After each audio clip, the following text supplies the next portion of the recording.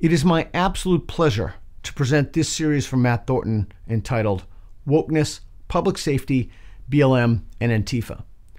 Matt's been teaching functional martial arts for more than 30 years and holds a fifth degree black belt in Brazilian Jiu Jitsu. His organization, Straight Blast Gym, has more than 70 locations worldwide and has produced champion MMA fighters as well as world class self defense and law enforcement instructors.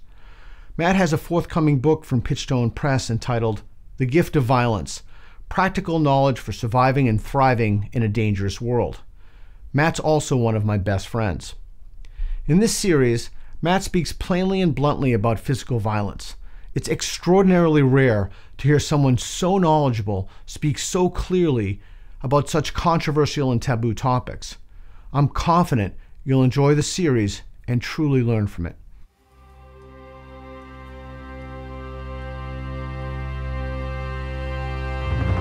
There are people walking around right now, there always have been, there always will be people walking around our planet who don't care about hurting other people. They would gladly hurt you or your children, not think twice about it. We need to understand those people exist, they're there. The only thing that stops them is violence or the threat of violence. That's it. The reality is, the only thing that's ever made the world more peaceful is the ability to engage in violence, to threaten violence, or to protect people from violence.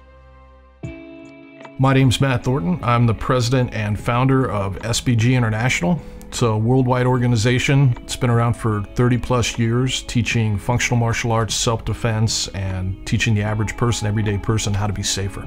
We have over 70 locations all over the world, and the clubs vary in different sizes. Uh, some of our instructors will focus more on mixed martial arts, for example, SBG Ireland with Conor McGregor. Some of our instructors will focus more on functional self-defense, law enforcement, and uh, police training like Paul Sharp. I've been working on this book for about eight years, and what I did was I took the information that I've learned over the last three decades and tried to distill it down and offer it to people to help them become safer, help them have a better relationship to the topic.